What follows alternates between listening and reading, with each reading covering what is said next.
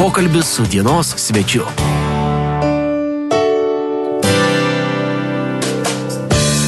Rezu radio eterėje tęsėme šios dienos pokalbį su mūsų svečiu ir dar kartelį primenu visiems klausytojams, šiandien laidoje pas mus svečiuojasi grupės vairos vadovas Rolandas Janušas. Na ir prieš skambant muzikai mes baigėme kalbėti apie gastroles, apie gastroles Junktinėse Amerikos valstijose, Didžiojoje Britanijoje. E, dabar įsimi, e, paklausiu jūsų, galbūt kitos kokios įsimintinos gastrolės, kelionės paliko taip pat e, kažkokių minčių, įspūdžių. Aš jau sakiau, kad mūsų kolektyvas yra, aišku, labai gerai, kad jis tokia turi, turi dvasę, tokia jo nenusakoma nepasakyčiau, kad visi ansamblio nariai yra labai men, meniškos sielos e, ir, ir kažkur tai skrajoja padėbesyse, bet kad šiek tiek priplaukia ir, ir durniuoti moka, tai čia yra teisybė. Ir sakykime, iš, iš tų kelionių, tai ko negali pamiršti ir mūsų e, šeimų nariai, ir mes patys iki šiol, ir tie, kas buvo liudininkai, kai mes, būdami Londone, e, naktį vietoj to, kad ryte išvažiuoti į Lietuvą, suradę bilietų išskridom į Ispaniją. Jo. Ir net, net namo, Taip, net namo nepranešė. Jo tiesiog durniavom, durniavom ir at, viena mintis kilo, kitas pritarė ir jo, prabudom ryte, čia kaip tame filme apie, apie tą naują metinę rusų tas, kur yra jo po pirties, kur mhm. ryte prabudom, kad jau saulė šviečia ir mes jau leidžiamės Ispanijoje.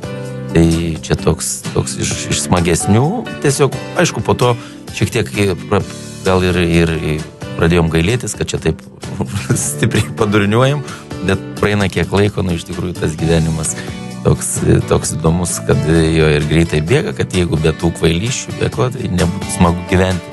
Turbūt gailėtis tai. tai, ką padarai, negu to, ko nepadarai, ar ne? Žinoma, ir tiesiog džiaugiamės ir dabar susitikę su jie šeimo mes pašnekam. Kaip, tai jūsų nariai bendraujate ne tik pat, e, patys kolektyvė, bet ir šeimomis? Žinoma, daug ir švenčių mūsų kartu mes visi gražiai. Aišku, stengiamės, aš jau sakau, kad stengiamės tų bendrų švenčių nedaryti, nes, nes tai mes važinėdami, gastroliuodami su vyrais daugiau laiko praleidžiame negu kad su žmonom.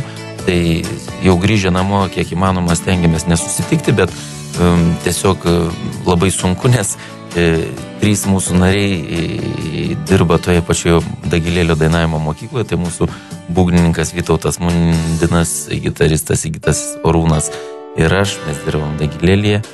Va, tai jau nėra kur dingti, jo, praktiškai tik galim kabineto duris užsirakinti, jeigu neteitų, bet, bet nu, tokio kaip būgnininko Vytauto Mundino nepasislėpsi, jis ateina ir ateina kiekvieną pertrauką. Va, o bosinė gitara grojantis Darius Vaitoška, tai jis tiesiog, jeigu jau jaučia, kad nesimatėm dieną, tai paskambins visada jau priminti, kad ir jis yra ansamblio narys, kad mes jo nepamirštume. Žodžiu, smagiai gyvenate. E, nuolat grupės nariai, kaip suprantu, susitinkate, tai gal žmonoms pravartu būti taip pat savo būrelį kokį surenkti? Ne, mes jom neleidžiam. Jeigu, įsivaizduojate, jeigu mes e, kolektyvė prisigalvojam visokių jo kvailyšių, tai jeigu jos sukurtų savo būrelį, tai kad neatsiliktų nuo vyrų, tai prigalvos tokių dalykų. Ir netgi pranoks jūs. Žinoma, mes negalim leisti, kad jos pranoktų.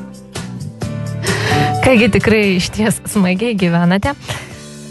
Praėjusiais metais jau kalbėjome, jo grupė Vairas išgyveno tikrai skaudžią netikti dėl pagrindinio nario vokalisto Edmundo Čivinsko.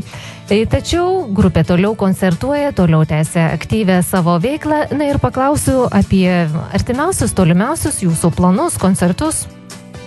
Tai artimiausi planai, tai kurie šiandien prasideda, tai čia mūsų šitie jau rudeninis svarbiausias mūsų darbas buvo kad e, mes per kelis didesnius miestus e, važiuosime su koncertinė programa Europos Bamba su e, Artūro Orlausku, Zakarausku ir Klarku kartu. E, šiauliuose dėje nebūsime. Labai jo, tegul gaila. publika, tegul pasilgsta. Jo. Turbūt negalima savo mieste e, jo kasmet koncertuoti. Kadangi pernai buvo toks, toks didžiulis koncertas e, arenoje, tai šiemet, šiemet nebus to koncerto. Bet kiekvienam savas laikas mes tiesiog prasuksim per kelis Lietuvos miestus. Planuose yra, planuose yra uh, aišku, kada šaltais žiemos vakarais e, turime jau paruošę įrašyti keletą naujų kūrinių. Dėl e, kompaktinių plokštelių, tai mes į tą labai žiūrim labai atsargiai, šiais laikais jų nereikia pulti tiek išleidinėti, jo, tai gal, gal dar ir neišleisim, nes, nes pernai pasirodė paskutinis mūsų vairo 50-mečio su, tai paskutinis kompaktas su mūsų Edmondo Čivinsko balsu, tai šiek tiek pailsėsime nuo leidybos. Va, ir dar planuose yra, yra vėl už Atlanto, tai kita, kita mes dabar vis buvom rytų pakrantėje ir iki Čikagos buvom, tai mūsų jau praeitą kartą mes nespėjom, mūsų laukia Los Andželas, ten ana pusė šiltoji, šiltieji kraštai, tai dabar tiesiog mes jau, jau patys neskubam, porą kartų pabuvęs ten, ja, tiesiog jau daug ką matęs, reikia, kad ir jie labiau pasilgtų ir mes jų pasilgtų. Tai tuomet ir paklausiu, kada šiauliečiai išvys koncertuojant jūs? Šiauliečiai greit neišvys mūsų koncertuojančių, kadangi e, Šiaulių dienų atidarime e, kažkas kažkodėl tai nuėmė mūsų pasirodymą. Mes turėjom visi šiauliečiai, kur atlikti ir tiesiog net nežinom kas, niekas neįvardė, net niekas neišdryso pasakyti, kad e, nereikia, tiesiog tik jo pasakė, kad kažkas eidamas pro šalį nebereikia, galite eiti namo. Tai mes į šiaulius žiūrim atsargiai ir stengsimės kuo mažiau koncertuoti, bet e, tie, tie klausytojai, kurie, kurie pasilgsta vairo, tai vienintelė vieta, kur Jonio pastogė ir radijos stotis RS2, kas vairą, vairą myli ir, ir transliuos. Tai vat, jeigu pasilgstat, junkite radijos stotį RS2, visada girdėsite, tai mūsų mylimiausia radijos stotis, nes mes visada čia ateinam jau kas, kas. Visada čia esate laukiami. Jo. Taip. Ir, ir vienintelė vieta jo nepastogė, kur mes karts nuo karto pasirodome. Taigi tai ir norėjau pasakyti, kad Šiaulių organizatoriams tikrai gėda dėl Šiaulių dienų.